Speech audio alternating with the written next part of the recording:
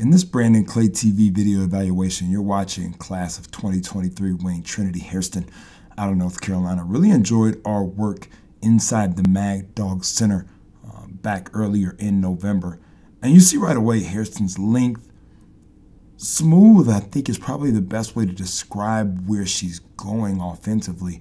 You see the footwork is good, the follow through is nice and tall. Still, a lot of things to like about her game as she continues to get more and more confident inside of gameplay shooting the basketball. I think in the way that the modern era is played, when you have wings that can play the two, the three, even I call it faking the four a little bit. You see her catch a post feed there.